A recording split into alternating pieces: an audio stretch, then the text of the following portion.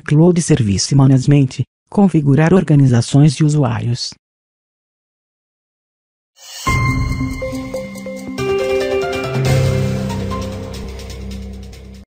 A estrutura da organização é usada para permissões e agrupamento de objetos diferentes, como tickets no sistema.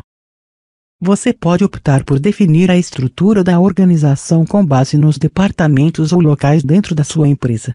Se for um provedor de serviços gerenciados, é provável que você deseje criar uma organização exclusiva na raiz para cada um de seus clientes.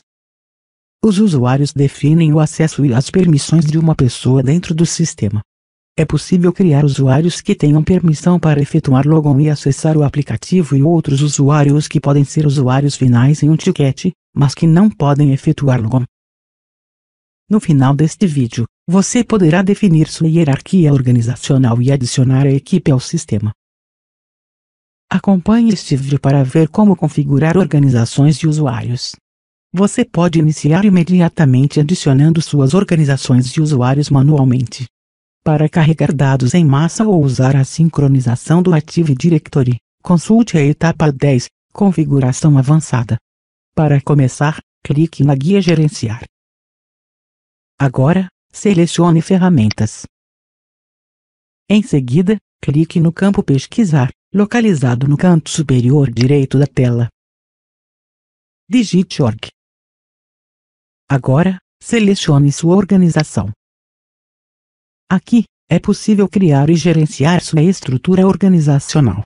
Você pode procurar qualquer organização, na sua hierarquia.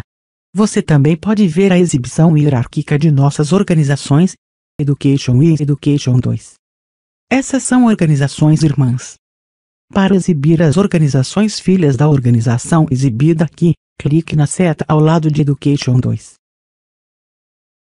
são exibidas as organizações filhas que pertencem à organização Education 2. Para voltar para a hierarquia organizacional, clique no botão Raiz. Para desativar uma organização, basta selecionar o botão Desativar organização. Ele não exclui a organização, no entanto, torna inativa. O botão Adicionar uma nova organização irmã permite adicionar uma nova organização no mesmo nível da selecionada no momento. O botão Adicionar organização filha permite adicionar organizações, para criar a hierarquia. É possível salvar o seu trabalho selecionando o botão Salvar, que salvará qualquer modificação na estrutura organizacional feita.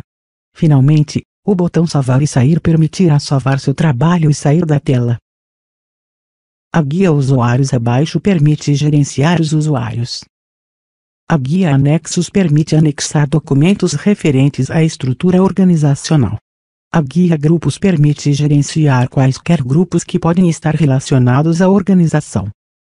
A guia geral exibe o nome e o local da organização. É também a guia onde você pode alterar o logotipo que os usuários desta organização visualizarão no canto superior esquerdo da interface. Navegue até o novo arquivo escolhido e selecione seu logotipo que representará a estrutura organizacional e as organizações filhas. Agora, clique na guia Ferramentas para gerenciar os usuários. Agora, clique no campo de pesquisa e digite usuários.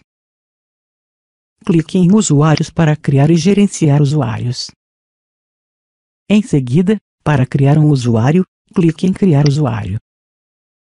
Agora, insira os itens necessários para a criação de um novo usuário e selecione o tipo de licença. O tipo de licença determinará o que o usuário poderá fazer no SEA Cloud Service Management. Os usuários de autoatendimento podem criar e atualizar seus próprios tickets.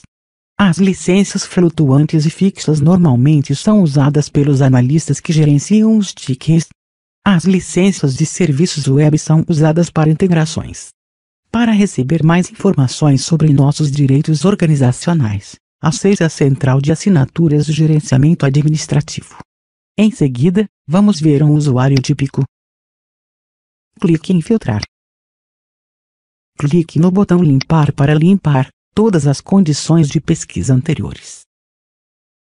Clique em Aplicar. Clique na seta suspensa é possível selecionar o menu Editar propriedades ou clicar duas vezes no usuário. clique em Funções. Você, geralmente, atribui permissões a uma função e atribui grupos para serem integrantes de uma função específica. Agora, clique em Grupos. Gimprend faz parte do grupo de administração, que é seu grupo principal. Os grupos são uma maneira de associar usuários a um determinado grupo de suporte para trabalhar em uma fila de tickets. Os grupos também definem permissões como direitos de administração no sistema. Agora que já concluiu este vídeo, você será capaz de definir sua hierarquia organizacional e adicionar a equipe ao sistema.